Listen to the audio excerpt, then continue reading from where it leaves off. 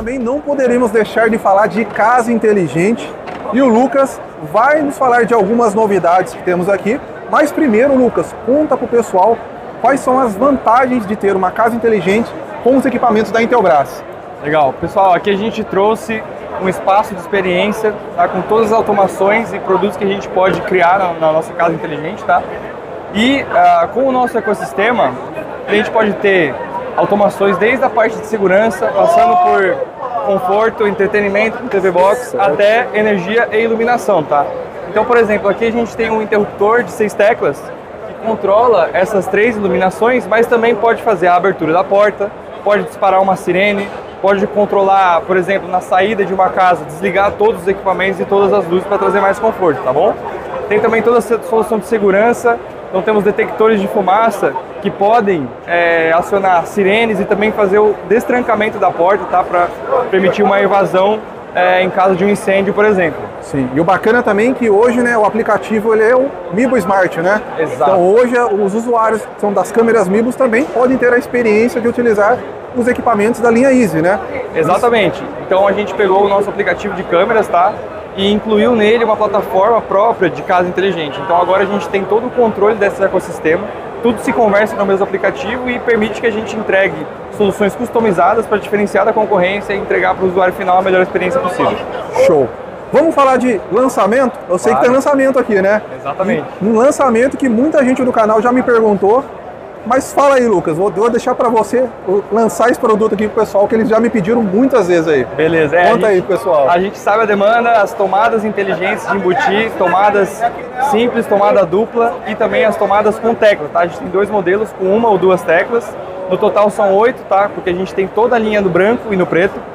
E a gente sabe, né, a Intelbras trabalha com um desenvolvimento muito completo, tá? Então, por exemplo, a tomada com interruptor que a gente traz, ela é completa, tá? É a única do mercado que tem o paralelo virtual, que tem a proteção é, contra sobrecorrente, sobretensão na tomada e também permite fazer a medição e o controle do consumo é, dessas tomadas. Então você consegue acompanhar a potência, você consegue acompanhar, ver a tensão, ver a corrente. Olha é um produto realmente completo, tá?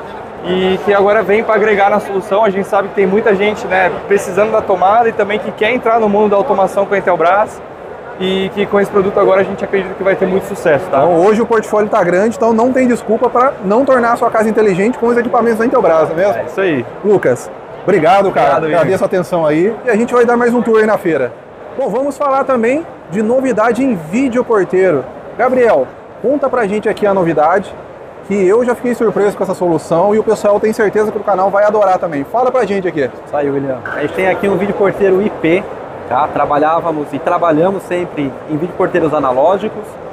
Conseguimos atualizar para vídeo porteiros analógicos Wi-Fi e agora a solução é o vídeo porteiro IP, tá? Ou seja, eu posso fazer uma instalação com cabo UTP no switch, eu posso trabalhar ele com cabo LAN direto no roteador, e posso também totalmente o Wi-Fi entre os módulos. Certo, que bacana. E o detalhe também funciona no aplicativo, né? Isso aí. Qual que é o aplicativo que a gente vai usar? É o MIB Smart, casa Olha conectada em teu braço. Show. Então, falando em MIB Smart, quer dizer então que tem integração com câmera? Também. Qual tipo de câmera que eu posso usar? A gente pode usar as nossas câmeras MIBO, ou seja, quem é que não tem uma MIB em casa, né? Show, olha visualizar só. visualizar ela aqui também. Que bacana, cara. Então, Hoje, então, quem tem usuário de Mibo pode utilizar esse porteiro e agregar também na tela, ele vai ter a visualização. É isso aí. E ainda funcionar no aplicativo. Também no aplicativo, que inclusive eu posso visualizar as câmeras, abrir fechaduras, Sim. gravar fotos. Abrir vídeo, automatizador também, abrir né? Abrir automatizador, fechaduras elétricas, tudo pelo aplicativo remotamente. Que bacana. Olha aí, pessoal, essa aqui é uma super novidade. Tá aqui na ExpoSec, Intelbras.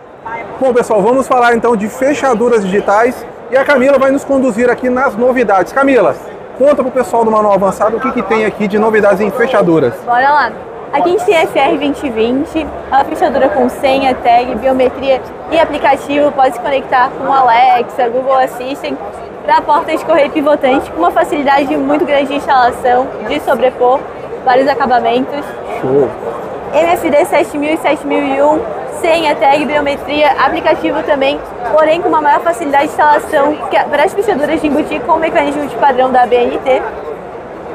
Trazemos aqui também a MFR 4000, fechadura para porta de vidro, tanto pivotante quanto de correr, sendo vidro-vidro, vidro alvenaria, vidro madeira.